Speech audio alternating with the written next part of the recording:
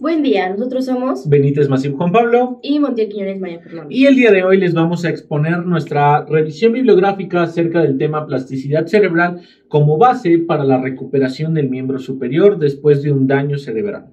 Bueno, primero que nada hay que entender que esta plasticidad cerebral como base para la recuperación de nuestro miembro superior va a tener ese concepto, ¿no? Como tal, la plasticidad cerebral va a ser esencial. ¿Por qué? Porque nos abrió paso en la comunidad científica para poder tener esa promesa de uh, rehabilitación o un concepto nuevo de este. Ahora, esta plasticidad cerebral se va a definir como tal como una adaptación del sistema nervioso frente a los estímulos externos del ambiente y una modificación de las conexiones internas de las neuronas. Ahora, toda esta, esta adaptación va a estar mediada por un tipo de receptor muy importante que son receptores para glutamato de tipo NMDA, lo cual va a ser muy, muy importante para la continuación. Ahora, todos estos receptores van a estar en asociación con cambios en la excitabilidad cortical y con cierta representación y generación de mapas nuevos en actividades de calidad motora, lo cual nos va a permitir después de un tiempo de excitación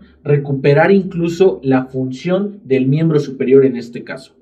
Bueno, ahora sin alargarlo más, nuestros objetivos va a ser asociar los procesos neurovasculares con la plasticidad maladaptativa. ¿Esto qué quiere decir? Que vamos a estar haciendo esa comparación entre lo que va a ser un sistema sensoriomotor sano y aquel que va a pasar por un daño cerebral, especialmente enfocándonos en lo que va a ser un accidente neurovascular. Ahora, este término de sistema sensoriomotor va a ser en especial importante porque va a ser aquel que nos abrió el panorama de investigación en cuanto al artículo y nos va a permitir o, va a estar relacionado su excitación con ciertos cambios en las concentraciones de neuropéptidos, de neurotransmisores y la liberación de ciertas sustancias conocidas como factores tróficos que van a estar provocando modificaciones en la actividad y en la conducta de células del sistema nervioso de la glía, conocidas como células de la microglía. Todo esto en relación con la estimulación e inhibición de receptores de glutamato de tipo NMDA, los cuales pues van a estar provocando cambios en la actividad eh, motora.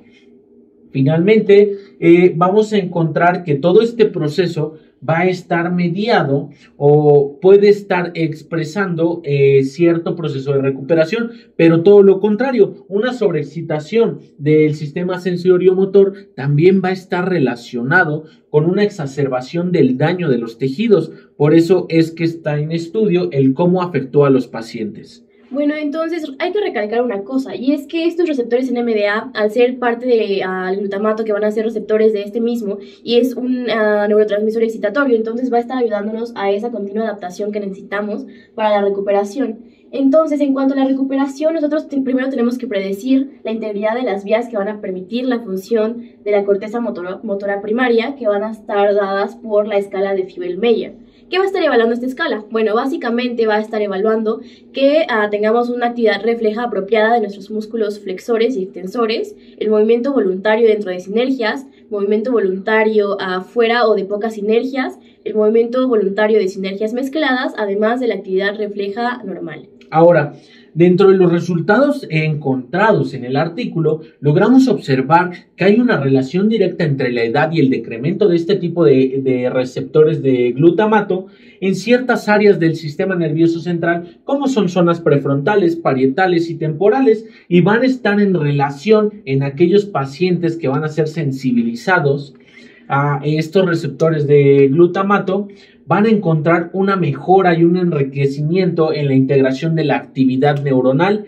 y un aumento en los cambios de las actividades de calidad motora y mapas de conducta que van a estimular al sistema nervioso. Bueno, ahora nuestras conclusiones. Es que el tratamiento agudo después de un accidente neurovascular va a prevenir la muerte prolongada, entonces esto va a hacer posible que la lesión se mantenga tan pequeña como sea posible. Además de que se tiene que tener en cuenta que la educación motora como un paso de la recuperación de la funcionalidad para eh, mejorar pues la actividad de nuestro miembro superior. Finalmente, para concluir la explicación, vamos a ver que este estimula esta estimulación del sistema este, sensoriomotor permite la recuperación de ciertos tejidos a nivel, en este caso, del miembro superior y se encontró una relación entre estos y los receptores de glutamato y la mejora en las actividades del músculo. Gracias. Gracias.